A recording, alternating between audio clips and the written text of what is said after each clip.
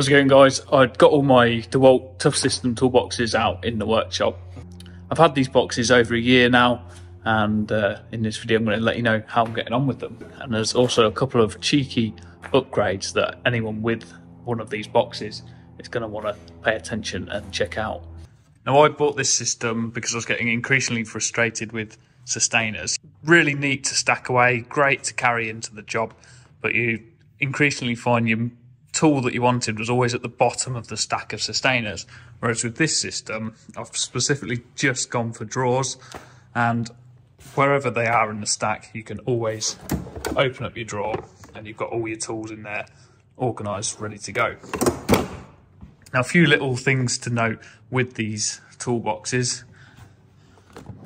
They're only going to make your life easier if you have some form of tool organisation inside them. So whether you make plywood inserts to suit your tools or you have drawer dividers or something like that. But it works really well to have every tool having its own space within the drawer. And also with something like the shadow foam, it's great that, you know, I know my jigsaw isn't in this toolbox just by clearly seeing the green that's left there because it's missing. So if you've got accessories like this that you've taken out and left on the job somewhere, a quick look in the box and you can see if something is missing, which is really, really good. But anyway, I've done a video on all that. It's on the channel. I'll link that down below in the description. And you can check out that process of changing over and doing some cutting on the shadow foam and stuff. So one year on, how are they holding up? So yeah, on a durability front, they, they've been fantastic. None of the latches, which I thought might be a weak point of them, have been a problem at all. They all latch absolutely perfectly still. Drawer slides as smooth as ever. There's no problems with them at all breaking.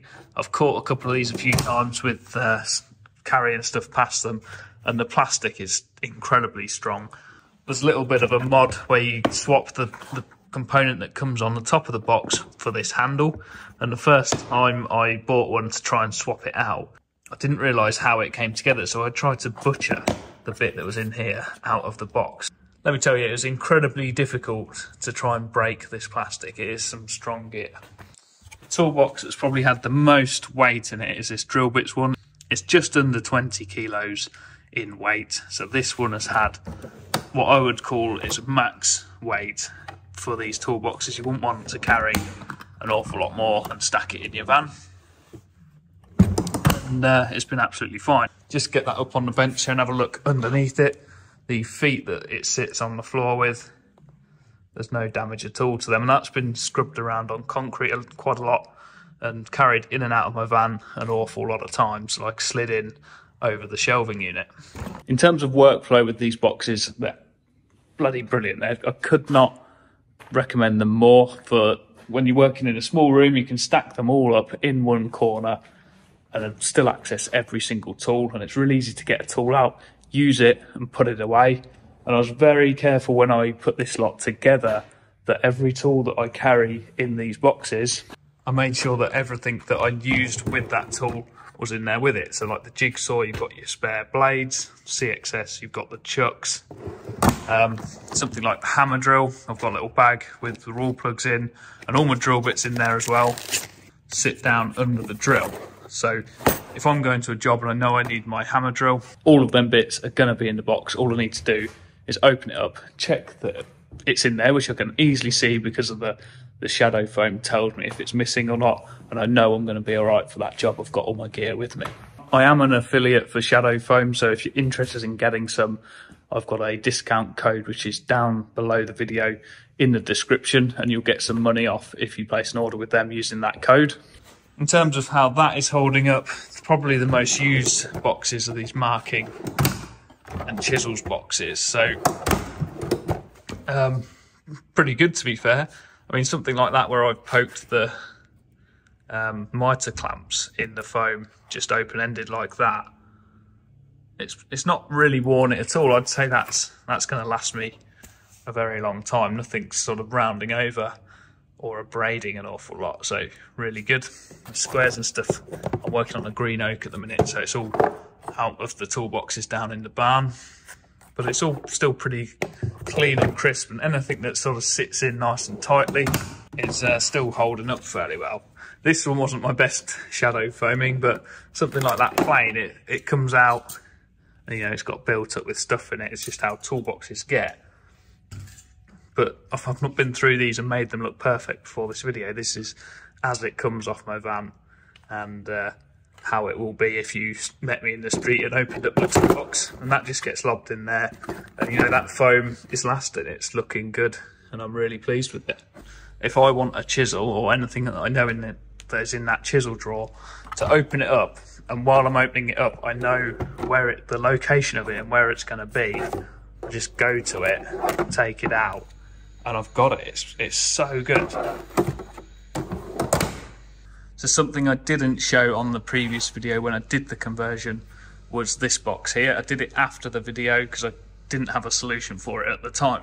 But I ended up butchering the middle bar out of this toolbox and oh, yeah, I've had to make quite a lot of modifications in order to get this TS55 to sit in this toolbox, which was quite risky considering these boxes are about 120 pounds a piece to take a brand new one and hacksaw these sides off and then cut the bottom out of a drawer and chisel all the seals off around the top is quite a risk to take. But I was prepared to do it because the workflow in having this tool or these two tools in a box like this is far worth it. It was worth the risk to try anyway. So yeah, that's how I've done it. And like I said earlier, I've got everything I need associated with these two tools in this box. So TS55. It doesn't really need spare batteries unless you're using it an awful lot. But I've got four batteries in there, so two spares and two on the machine to run with for a start. And the associated little items there. I had to reinforce the drawer after I cut it open with some bits of plywood and stuff. But it does fit in there. And it slides in under that seal. It doesn't actually touch, to be fair. It slides out and it absolutely fine. I've also got the planer in there, and that's quite a big thing. That was in a SYS 3 when I had the Festool boxes. It's a big unit to try and fit in a toolbox, especially alongside another tool. So that toolbox is saving me an awful lot of space compared to the equivalent systainers. But I've got that in there. I've got my battery that operates it, spare blades, and I've also got underneath there in that little pad the spare blades for the TS55. So that just slots back in like so, and it's all in there, nice and safe. Nothing can come out really, unless you tip the toolbox upside down. I think the other two boxes that I didn't show would have been these ones. So I managed to get uh, a couple of sets of nail guns, which is the deciding influence for which brand of nail gun I was going to use, was whether they would fit in these drawer boxes. So they sit in there, you can grab them with one hand. And underneath, I've got all the nails. I made a little tray for the middle that stores all the different size and uh, 23 gauge nails that I might use. And it's all sat in there in one drawer. Like I say, you can get straight to it. And the other box is this three drawer one, which I've filled with my screw boxes. So there's a B&Q, I think it's B&Q organiser box that I already had with all my stainless screws in that I realised them little tote boxes from that fitted really well in here. I've just lined the outside with some foam. So I've got all my side screws in every every length, in every width. So I've got three and a half and four in that bottom one, and then I've got the threes, the four and a halves, and the fives in here. Like I say, every width every length that I need screw is in this box. It's really, really handy. This is not one you want to be tipping upside down. And in the top, I had to buy some proper tote trays to suit these really long concrete screws. Various bits and bobs of fitting kit that I use all the time on site in this one. If you're a tradesman used to screw boxes, you, you're going to realise how handy that is when you have it compared to getting your screw box out the van opening the lid on it, you know, and it being in the way of your workplace. They're always in the way. Someone always treads on them or kicks them over. And then at the end of the day, you go to pick them up and someone's not latched it and they fly open and all your screws go everywhere. So you're probably thinking there's no negatives to the boxes, right? The wobble's not so much of a problem. when you just have one box stacked on top of the other. But it's more of an issue when you've got, when you type for space, you want as many of these boxes stacked on top of each other in the corner of a room, so your tools are nearby, and that's what they're for. That's that's the selling point of these boxes for me, is that all your tools are accessible. You don't need to move it again, but you can get them out the way of your workspace.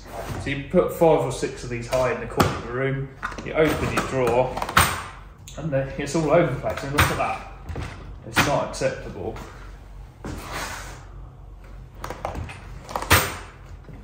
And I even think if one of these clips failed, the box might even fall off when it's at that angle. So it's, it's kind of not safe.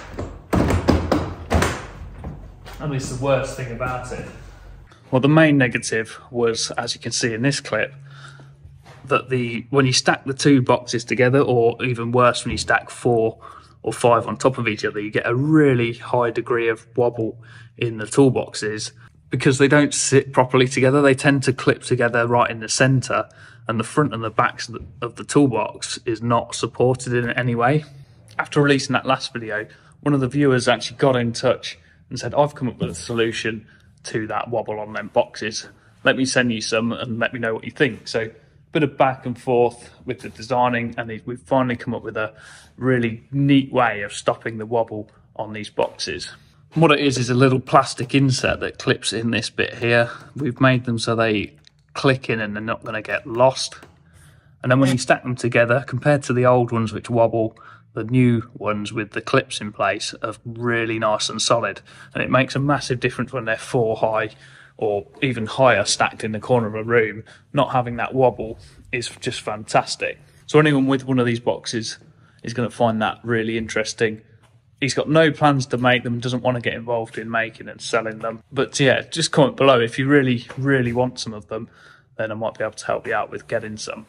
The other thing he sent me is these really cool clips that go onto the bottom of a of mounting board. So I recently fitted these to a set of wheels. I reused the old set of wheels I had been using and that I'd bodged together. I disassembled them, used the casters and put these clips in place on the baseboard.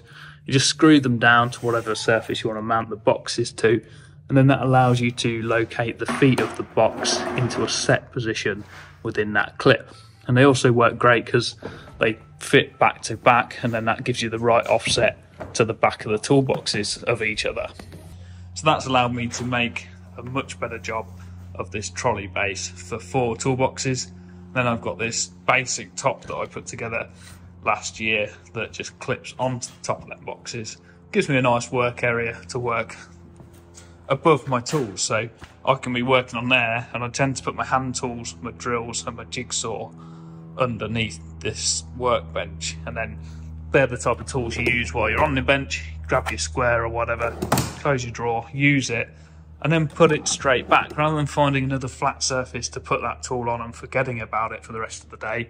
You put it straight back so when you need it again, you know where it is, it's in your drawer, and it's a really nice way and really nice flow of working when you're on site.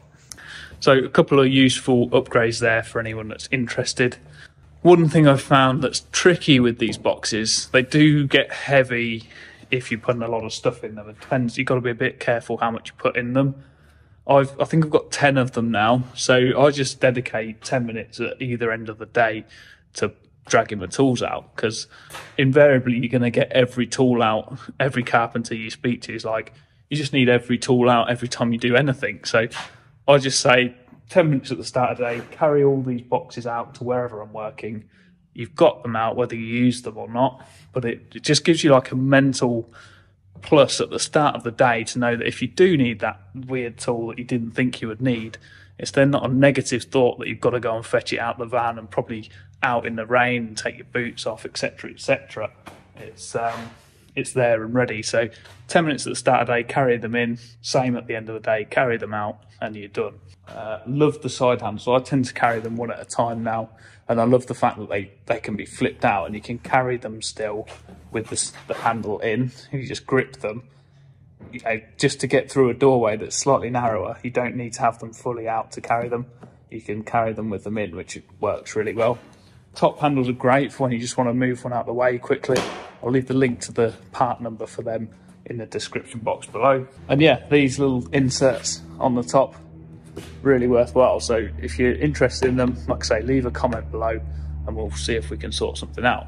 But thanks for watching. If you've got any questions, I will reply to them in this. This, if I see a video comment on this with a question about these boxes, I will reply to them. I'm nothing to do with DeWalt. Got no interest in promoting DeWalt at all. Wanted drawer boxes, and their drawer boxes suited the size of tools I was going to be fitting in them, and that's why I've gone with the DeWalt system. But like I say, I am an affiliate for the Shadow Foam, and you'll get a little discount if you use my code Bradshaw, which I'll put down below as well with a link. And to be fair, I couldn't recommend it enough. Really, really good gear. Um, I thought it was a little bit gimmicky when I was first doing it, thinking it wasn't going to last. But having them tools, having them all have a price and with a different colour inside to outside, really does make a difference when you're leaving somewhere. I've I've saved myself from losing quite a few tools, like little hand tools, um, just by opening the boxes up and checking they're all there before I leave. So really good bit of kit. So yeah, hope that helps someone and I'll see you in the next video. Oh, started. First night leaving the workshop in the dark.